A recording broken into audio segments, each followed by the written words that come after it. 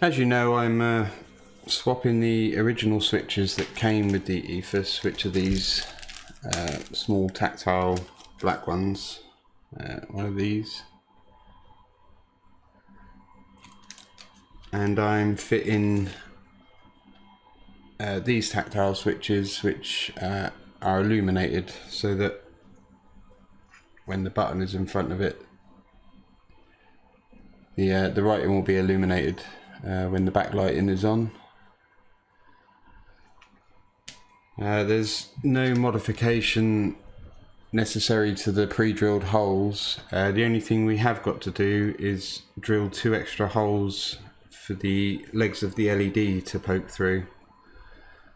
So where we've got the holes there, uh, exactly in line with those holes and dead center of them, we have to drill another one. You can see I've put some dots with a red pen here, just as a guide. Um, just simply going to do that with a, a one mil drill bit on a Dremel.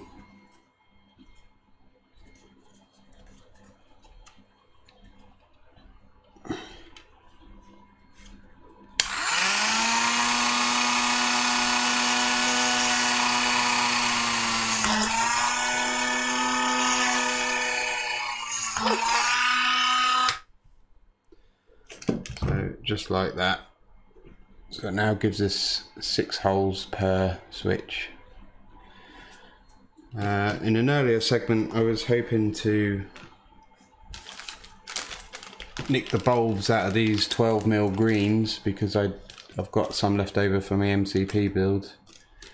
Um, but I took one apart and discovered that the bulbs are actually green um, so I can't use them. I've got one here somewhere. Is this the one?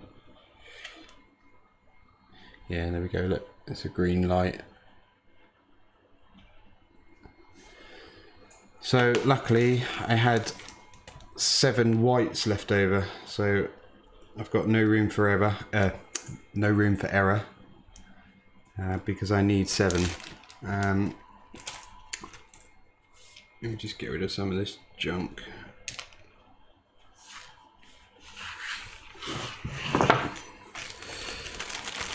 If you watched my FMC video, you'll know how I took these apart, but just to recap, so these are the white 12mm illuminated tactile switches. Just get some snips and just take them four little black lugs off the corners.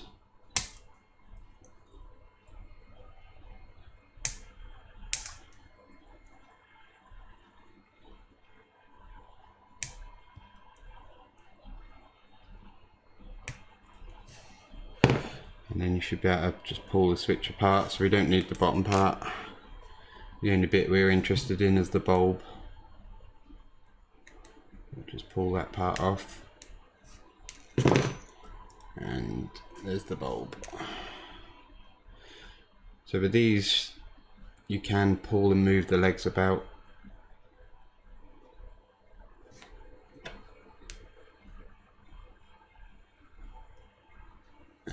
can see. Nice bright white light. Uh, the the legs have got I really don't know if I'll be able to show you this. Oh here we go. You can see some yellow paint on one of the legs. That shows the uh, negative side of the LED so if I put that on the battery negative side there you go. You can see it lights up. Uh, and then the next job is to just simply slot the legs into one of our switches. It's a bit fiddly. Trying to get them both to line up. Sorry, I'm not even doing this on camera, am I?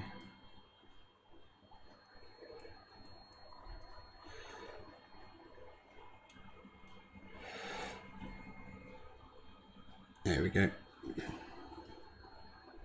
And then I just use a screwdriver small screwdriver just to push the LED down into the slot.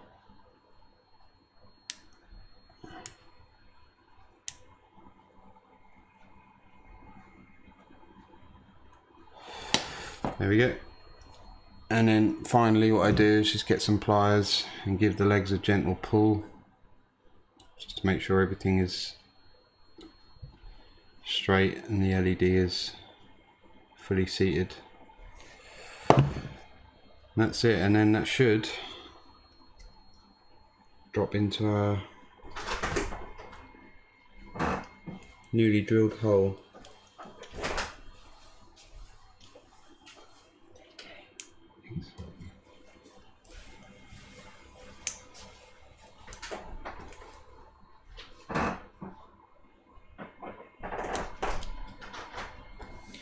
Just got to straighten out one of the pins on the switch.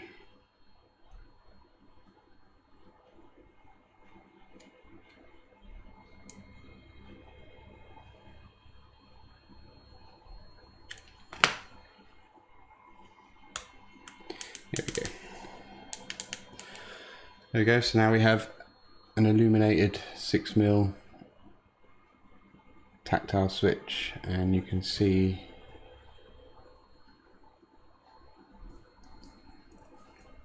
that the pins on the back poke through ample enough to solder so we can fit the switch in place now and still get to the pins to solder them when we need to at a later date. So that's what I'm going to do, another six to go uh, and that will be my illuminated switches ready. And these lights are going to come on with the backlighting for the EFIS and the MCP and the other EFIS. So these are 3 volt LEDs so I'm going to be wiring them exactly as I did on the FMC uh, in groups of 4 and then there'll be a group of 3 with a suitable resistor.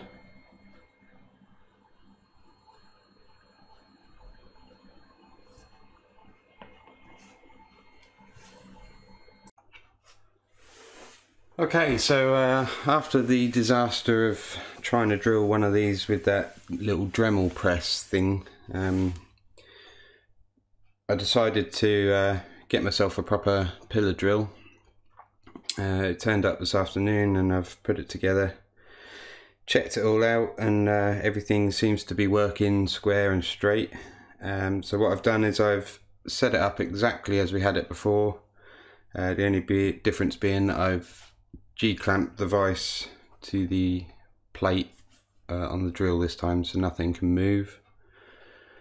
So exactly the same as we did before, we're going to um, drill through the first layer uh, and then stop drilling, take this out and take it apart and then continue the drilling. So here's take two uh, and hopefully it goes a bit more to plan this time, but we shall see.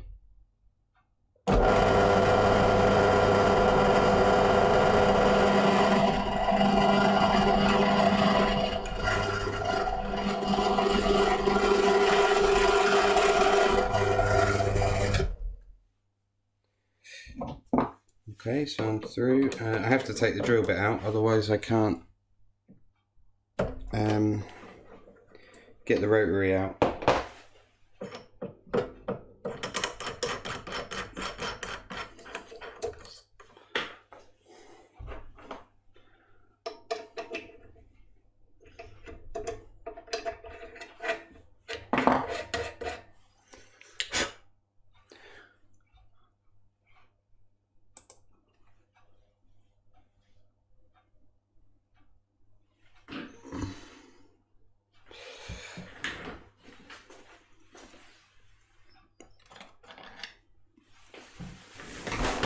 Okay, so finger stabbing time.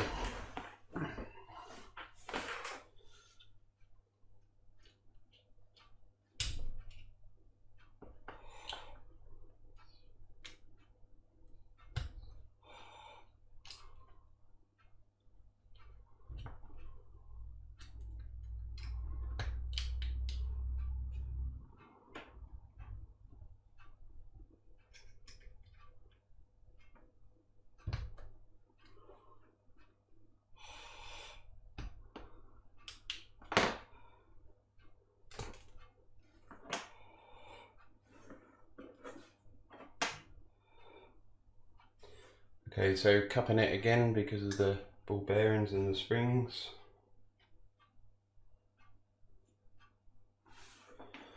There we go. There's one ball bearing.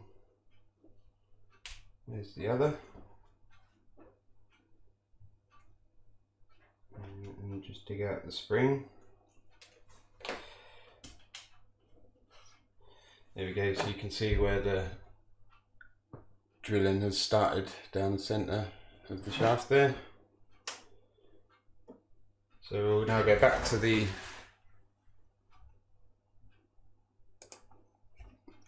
Oops, wrong one. There we go.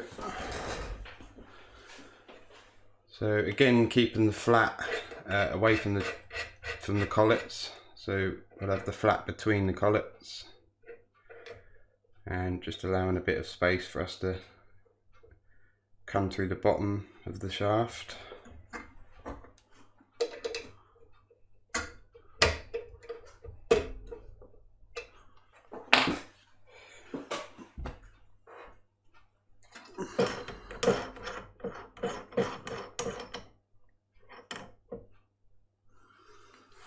Uh, I checked checked the drill out with one of these um, angle gauges uh, and I found the plate to be 0.01 degrees out from the shaft so I mean to me that's pretty good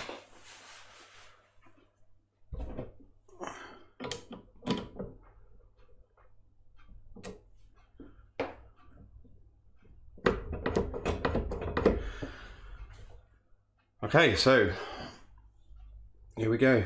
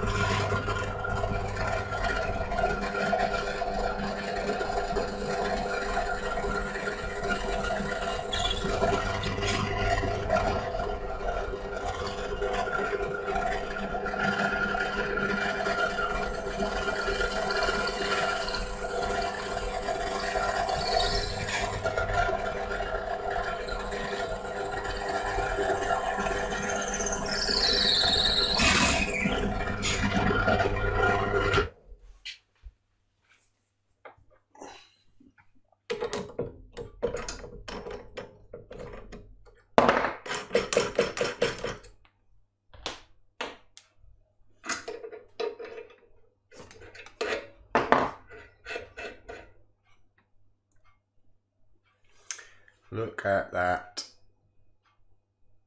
Absolutely dead center.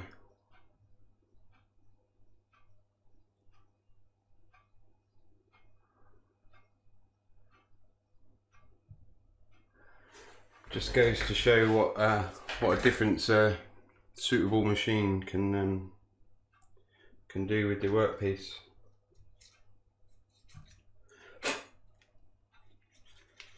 because my setup was no different um, to how it was on the Dremel. But you can see a difference in the quality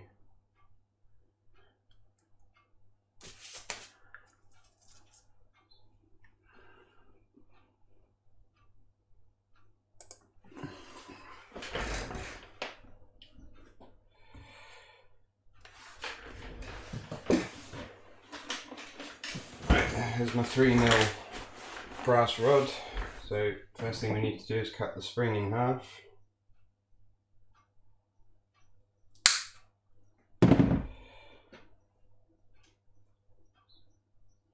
And what I'm going to do this time is I'm not going to remove a piece of the spring just to see what difference that makes.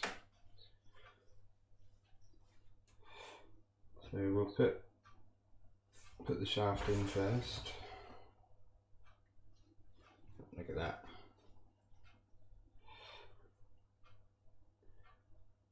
and I'm putting the cut end of the spring in first.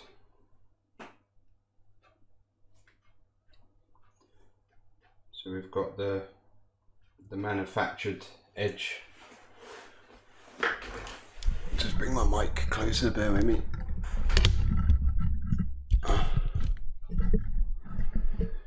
Uh, just so we've got the manufactured edge of the spring for the ball bearing to sit in.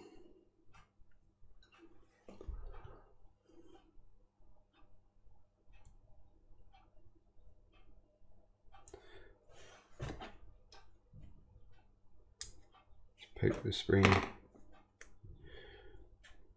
Oops.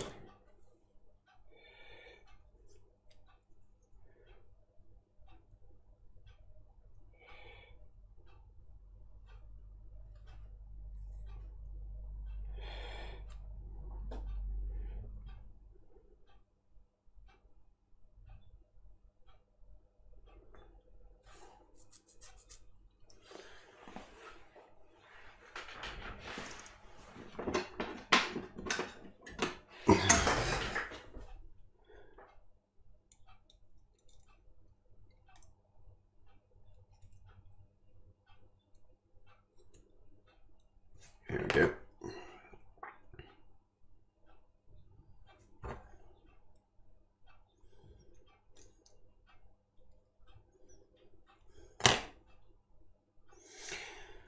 Okay, let's drop the uh, ball bearing in that slot. You can see it there. And then use a blunt ended object just to push it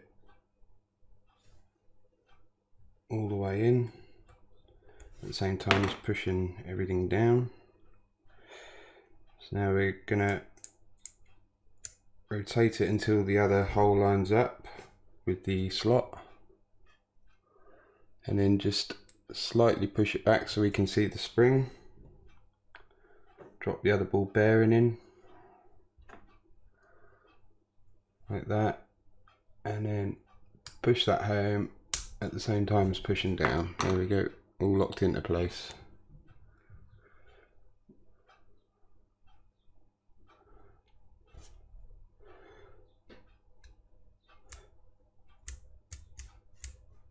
Yeah, I can I can feel it's slightly harder to turn uh, when leaving the, the springs at full length, but I think that would be okay once we've got a knob on. So I don't think there's any need to cut the spring shorter to make up for the thickness of the uh, the rod.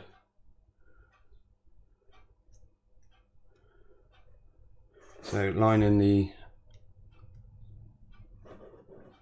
uh, little dimple thing up with the slot on the casing and then pushing it all back together.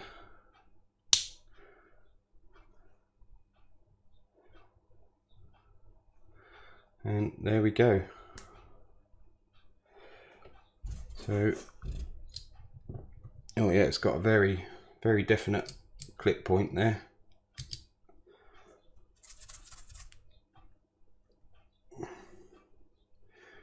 Just see if I've got a spare knob just to put on there.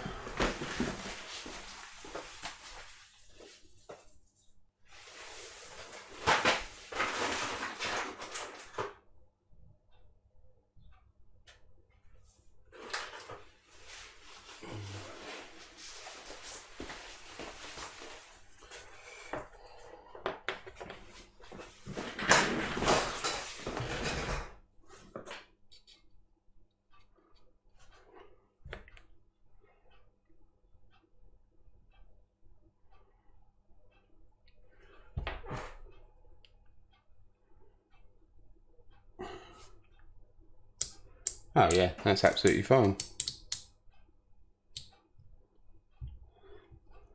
Knob slipping a little bit, it's only a rubber.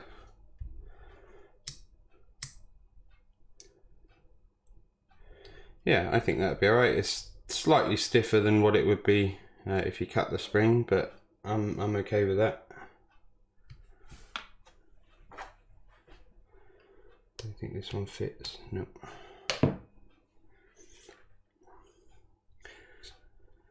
So there we go anyway, a successful drill. Try and get it in focus, there we go. So a successful drill straight down the centre of the shaft. Uh, and this is one of the flat-edged uh, shafts as well. So this one is, uh, this is a 45 degree rotary. And so far, the way I can tell is the 45s have got pins missing. Uh, if it's a 30, like this one, then it has all the pins there. I don't know if that's uh, a true way to tell, but it's just what I've noticed whenever you see 45 degree rotaries on eBay. Although they don't always say whether they're 30 or 45, you can tell by the missing pins. They seem to have two, one missing, two, one missing, two, one missing, whereas the 30s have all the pins in place.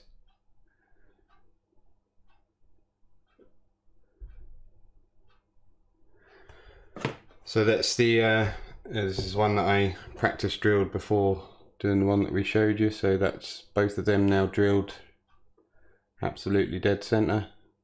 Uh, and this is going to be for the top part of the EFIS, um, which will incorporate uh, the outer switch for two positions for the baro and uh,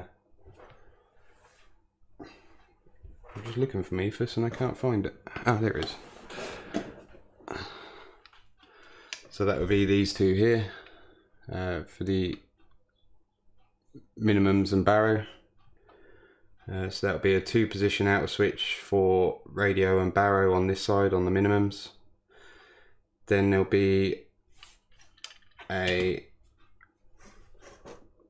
a knob for the encoder for changing the minimums which will go through and connect at the back here to one of these. So that's a rotary encoder that also incorporates a push button. And I think the push button on this is quite possibly for reset, so reset it back to zero. So, and you can see that I've uh, made this little back plate for my EFIS. Uh, so all I've done is I've fitted some extensions. Um, these are just nylon ones. They seem plenty strong enough. Uh, and this plate is a. I got a sheet of G10 uh, left over from my modelling days. Um, it's very very hard. Um, I don't know. It's like a epoxy sheet or something like that, but really really tough. Uh, easy to cut and easy to drill, but strength is just no bend in it at all. And that's me putting a fair bit of pressure on it and it's just barely moving. Certainly a lot stronger than uh, the Perspex panels. Um, so all I done was um, I took the faceplate off and I drew around it onto my sheet of this which comes in an A4 sheet uh, and then I marked, drew the, the four holes and these two holes here and those two holes there uh, and then drilled them out. Uh, obviously the top ones are going to be for the rotary encoders to slot in there like that. Uh, I may have to bring this plate back further. Uh, I won't know until I get my rotaries fitted back in the front uh, of my EFIS. Uh, and you can see with the the ones we drilled the other day that's that are off center uh, I'm probably gonna swap these out for some new ones that I've bought uh, and drill them again because I'm just not happy with it being that far off center so now I know I've got a decent setup to do it. Uh, it's gonna take me five minutes just to re-drill two more uh, so that's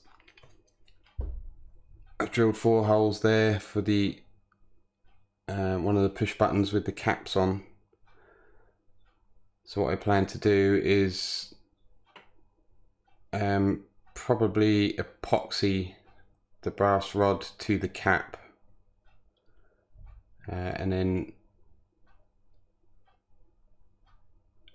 the cap will lock onto the switch when I put this backboard in place and then it's just a case of uh, slightly enlarging the hole on um, these are Kyle Clark's EFIS knobs that I've printed uh, so that should It's not going to fit. I need to enlarge the hole just a tad. But anyway, that will go on there like that. Uh, and then I'm going to laser cut a button to go in the front there. So it's just a case of trimming this brass rod to length. Uh, obviously allowing enough behind the cap for it to move slightly to press the button. I mean, you can hear that that's working absolutely fine. So of course these ones uh, just incorporate a push button. There's no uh, turning involved because there's no rotary encoder. It's only the, the top two that have the rotary encoder and the push button. So that's where I am at the moment. I haven't had uh, much chance this week to get on with it because uh, I've been looking after my daughter, but uh, I'm now going to um, drill the other two encoders out and hopefully get them fitted and then we'll come back. Uh, I think what I'm going to have to do is print, uh, 3D print some sort of converter. So uh, there'll be a something with a, a 3 mil hole in it on one end and then a D-shaped converter on the other so I can slide it onto this shaft and then glue uh, the, the, the rod in the other end so it converts it from a 3 mil round bar to a D-shaped 6 mil. So that's my plan. Sorry to ramble on a bit. I just wanted to make sure that I caught up on everything that I've been doing while waiting for this drill to turn up. Uh, I will just show you the drill. Uh, I looked on uh, Amazon. I mean, I'm I do like my tools. I am a tool guy, so I do normally try and get the best. But if it's something that I really don't use very often, you know, I don't want to spending out a huge amount of money. Uh, but I, I looked at lots of different brands uh, on Amazon and uh, reading the reviews, everybody was saying about the same problems with holes being oval instead of round and lots of vibration in the shaft, etc. and bad depth uh, stops that break and don't work. Uh, and, and I mean, this was the problem I had with every single drill I looked at on Amazon. I know you can't fully trust other people's reviews, but there was so many bad reviews that I couldn't help myself but, you know, I think I need to look elsewhere. But I found this website called Rutlands. Um, and they, they this is the only drill they seem to do, but it certainly looked a solid bit of kit uh, compared to what I've been looking at. And excuse me a second, just when you don't want a phone call. Okay, we're back. Sorry about that. It's a phone call just when you when you don't want it, but uh, I don't know where I got to. Uh, I found this company called Rutlands, and uh, this is the only drill they do. But to me it looked a fairly solid bit of kit. Um, the the pillar drill that I got rid of was a Clarke Metalworker, and and that was an absolute colossal beast. Uh, I didn't want anything that big, but it seemed seemed to me like you had to go that big to get any sort of quality. Uh, until I saw this one. Um, it's, it's certainly I, I had a, a cheap B and Q pillar drill in the past, and I literally used it once and threw it in the shed. It was that rubbish. Uh, but this one, I, I do actually quite like it. Now you've got a depth stop on here, so you, if I if I wanted to go 10 mil deep, you just lock it there. And then it will only let you go 10 mil deep. Um, so that's quite a neat idea. Uh, a lot of the, the drills seem to have like a, a, threaded rod up this side and you have to fiddle about rotating nuts to, to get the depth set rather than just doing this. So this was quite neat. Uh, it's got adjustable rotor, rotor, adjustable motor uh, for your belt tension and in the top you've got a, be a belts in there for adjusting the speed. Uh, I've just left it on the default speed, which is the middle one by look of it. So that's about the, about the speed that I'll be using. And literally took me and my two year old daughter uh, about 10 minutes just to get it all together. So yeah, it's I can recommend it from what I've seen of it so far. Uh, obviously, you don't get the vice with it. This is my own one, um, but this is a four four inch vice. Uh, this is too big to lock on to the slots in the plate here, so you'd have to get uh, possibly a th three inch vice maybe. Uh, I don't know, but the, these holes won't line up with them ones, but it's not a problem. I just G clamp it down. So, there you go, you can take up to a 16 mil drill.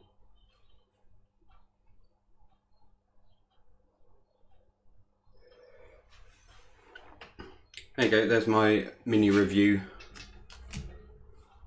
Uh, obviously 240 volt as well, rather than 110.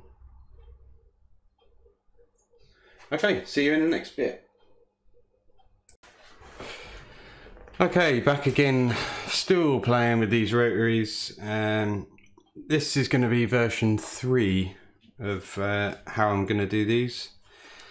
Uh, this is the one I've just finished uh, adapting and you'll notice how smooth the shaft is through the rotary. I mean, it literally drops straight through. Uh, and you're also probably wondering why, how, how I'm um, managing to put the shaft in and take it out without the springs closing up together.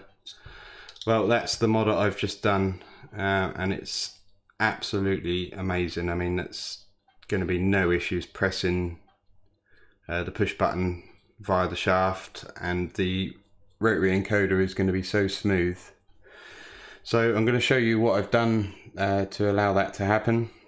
Uh, so I've just taken, this is one that um, we drilled on camera earlier. So I've just taken it apart again. And what I've got here is a piece of 3 mil wooden dowel. Uh, this is just a like a cocktail stick type thing, a big one. Uh, and what you're going to need to do is cut a, a 7 mil piece of this dowel.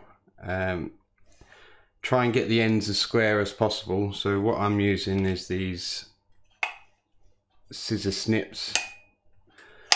So the first thing I'm going to do is just sand uh, the end nice and square.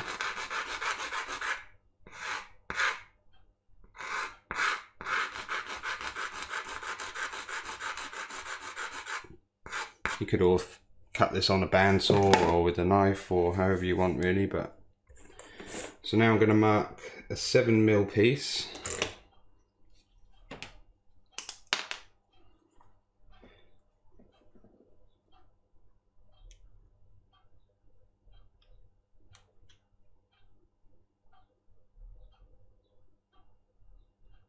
And what you're also going to want to do is put a mark at three and a half mil which is obviously the center of the 7 mil. So I'm just going to snip this off. I'm going to snip it slightly longer than I need so I can sand it square afterwards.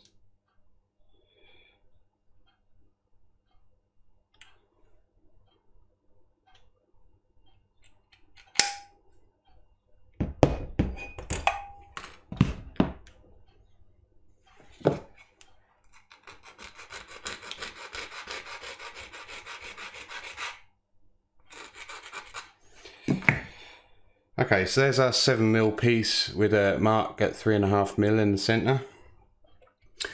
What we're now going to do is take uh, the part that we drilled, so that's the part where the springs go in, and we're going to slide this dowel in the spring hole. So our mark is pointing at the top. And then we're going to push it through until our mark is in the centre of our hole. So we know that the dowel is central.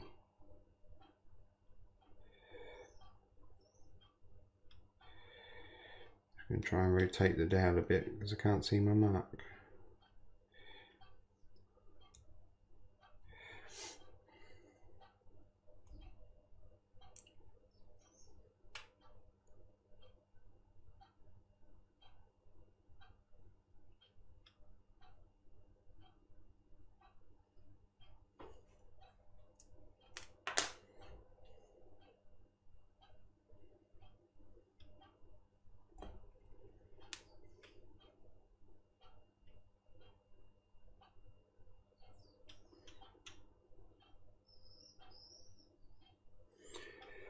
Go. I've got my mark.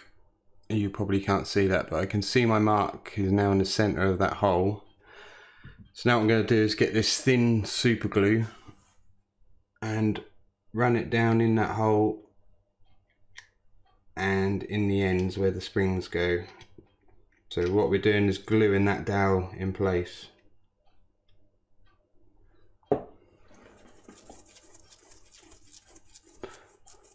I know this sounds a crazy idea, but trust me, it works so well. Just give that a few seconds for the glue to dry. So now you can see, possibly, uh, try and focus.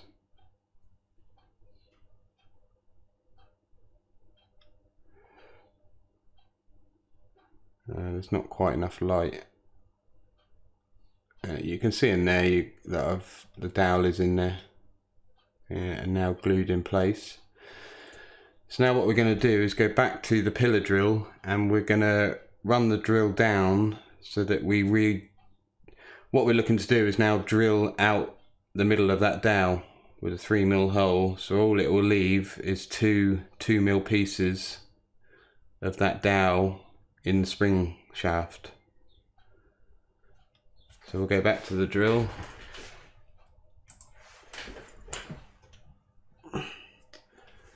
which I haven't got my camera set up for because I'm always unprepared.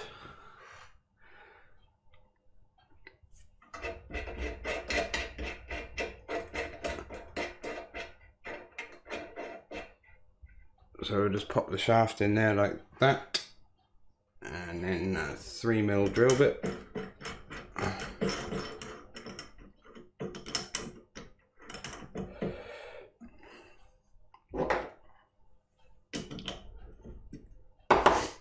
just run that through. Nice and slow.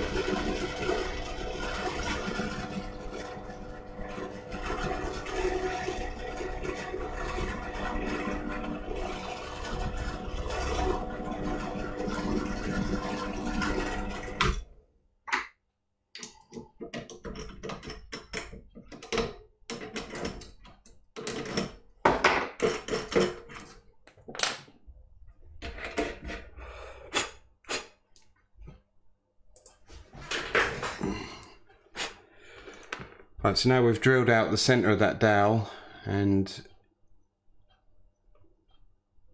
you might be able to see that we've still got our pieces in there. So there is literally two mil of dowel. Uh, what I'm going to do is just run the file through just to clean up that drilled edge of the wood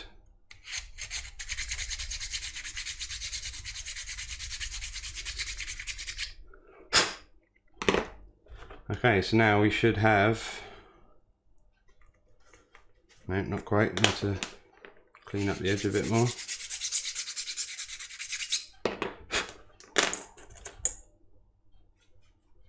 There we go. Lovely and smooth. Now,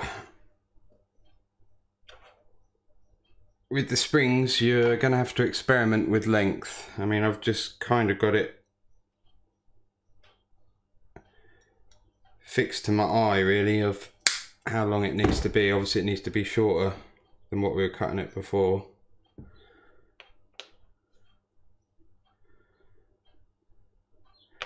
And I suggest you get some, if you're going to be doing this,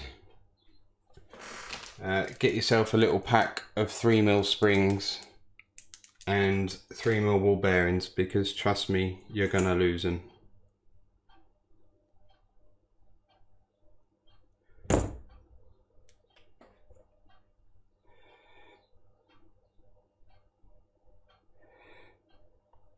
So now basically what our spring is doing is resting against that 2 mil piece of dowel rather than pushing on our brass rod. Um, because obviously the end of the spring is quite sharp, I found that it was grinding on this rod and uh, it wasn't smooth to push the rod through uh, and make contact with our push button or our encoder or anything. Okay, so that's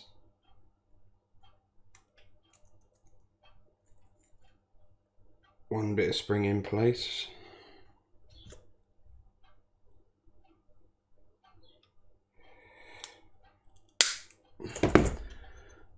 And just for the record, I'll measure roughly what I'm cutting. Six.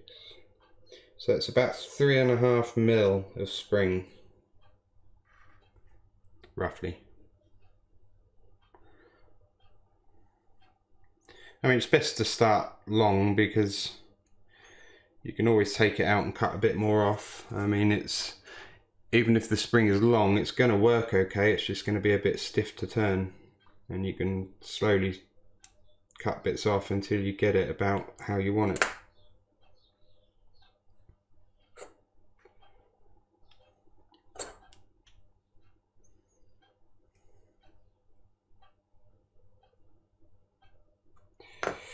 Okay, let's get the ball bearings in place.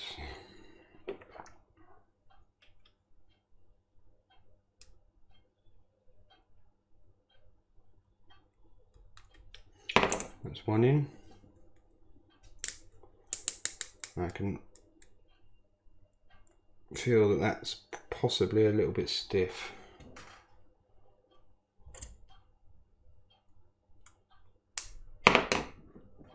Oh no, that's okay. Probably, if I took another half a mil off, so what did I say, it was three and a half, uh, about three mil of spring.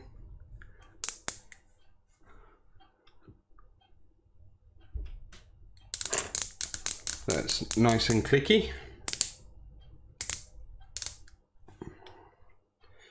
Uh, and you'll notice now that the uh, the end of that shaft is a bit bent. One that isn't bent. We can pop our cap on.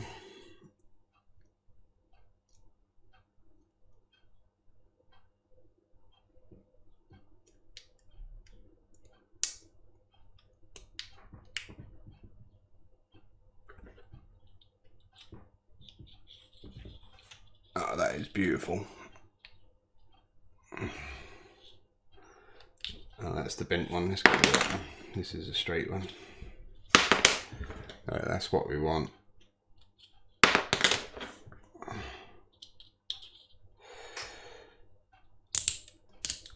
So that is absolutely perfect. I'm really happy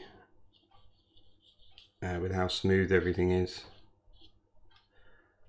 So that's that's the way I'm going to be now going back to do do all the ones uh, that I've already drilled out.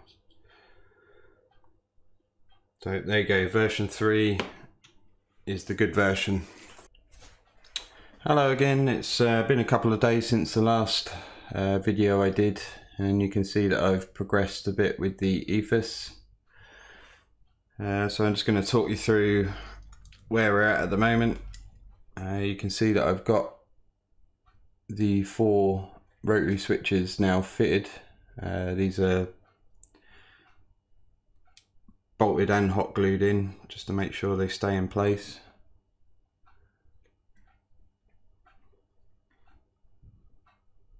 And you can also see that I've made this back panel out of G10 and fitted two rotary encoders with push button at the top here and they've just got the D-shaped shaft on them uh, and what I've done is I've 3D printed uh, a D shaft to th 3 mil hole uh, sort of converter. So there's a 3 mil hole in this end to take the end of our shaft. Uh, and that runs to, to about halfway. And then from halfway backwards is a D-shaped hole to fit on our rotary encoder. So once everything is fitted up, uh, these will be glued to the rotary and the shaft will be glued inside the hole so that sets everything in place. Uh, the reason for this spring at the back here, uh, it's not really necessary. Uh, but what I think if I was to do, when I do the first officer side, the hole, uh, which is through this back plate, I think I'll probably file it out to be slightly elongated left to right. Uh, and what that will allow me to do is to fit the shaft through and then move the encoder around to get everything absolutely center before then tightening the nut um, because where my shaft comes through I don't know if you can see that is I don't know point two of a mil out. I mean if I push it it will go in. There we go it's just popped in.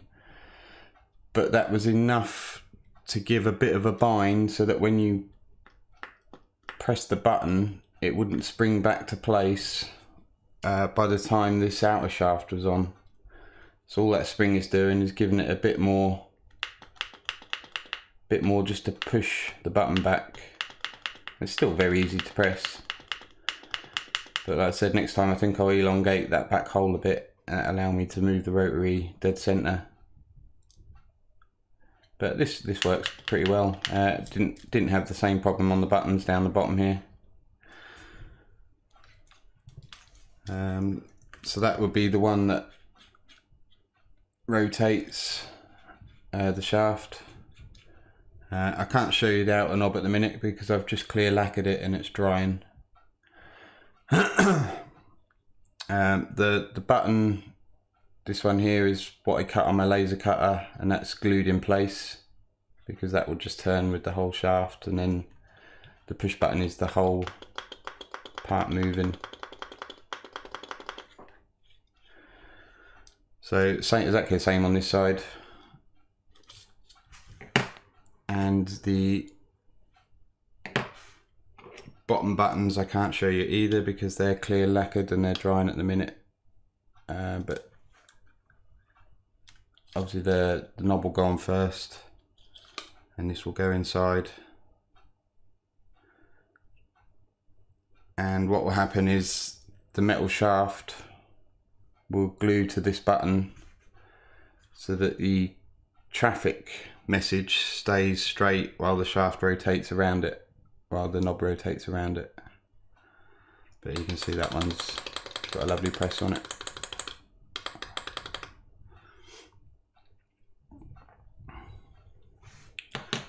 Um, what else have I done since I've got all my buttons fitted? So apart from waiting for the lacquer to dry uh, and fitting the knobs on and gluing them in place like I said, there's just the wiring to go uh, on the Captain's EFIS. The FPV and meters buttons uh, on those two switches there. Uh, I can't remember if I mentioned in the other video whether I'd done, I mentioned that I'd done the backlighting, but the backlighting's all in place. Um, there's three strips in total, so I've got one running along the very top to light up these. Uh, then I've got a strip in the middle to light the top and then I've got a strip running along the bottom to light the rest of that ring and the ADF2 and ADF1 and obviously the buttons have got their own backlighting in the buttons themselves. So they'll all be wired together to come on at the same time.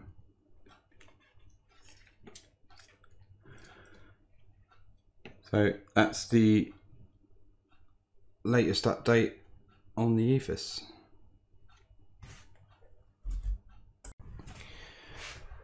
Now here's just a little interesting thing that I found when I was building the MCP. If you're using SimVim, um, what you must do uh, if you're using SimVim with a multiplexer anyway, uh, I'm not sure if it's the same if you're not using a multiplexer.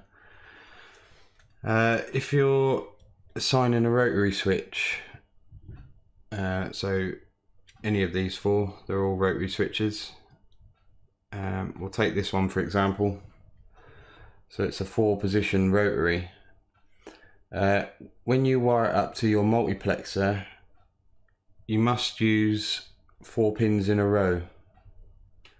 So you can't jump around on the multiplexer with these four connections because in SimVim uh, you only select the first pin that this rotary is connected to. So say if it was wired to pin 10 on the multiplexer, it will automatically, SimVim will automatically assign 11, 12 and 13 as the next part of the switch. So 10, 11, 12, 13. You don't have to assign all four positions of the switch. It automatically follows on with the next three after the one you selected. Uh, so for this one, for instance, this is an eight position rotary. Uh, say if it was connected, you you wired the five to pin one, it would then automatically select the next seven uh, in the row. So that would be pin two, three, four, five, six, seven, and eight. Uh, I made this mistake with the uh, MCP. Um, basically, because I, I used three multiplexers, I had uh, one pin left on one of the multiplexers. So I wired the first um, position of one of my rotaries to that last pin, and then the next three were the start of a new multiplexer and when I came to assign it in SimVim I couldn't do it because it has to have four in a row if it's a four position rotary. I hope that kind of clears it up. Uh, I'll try to explain it the best way I can.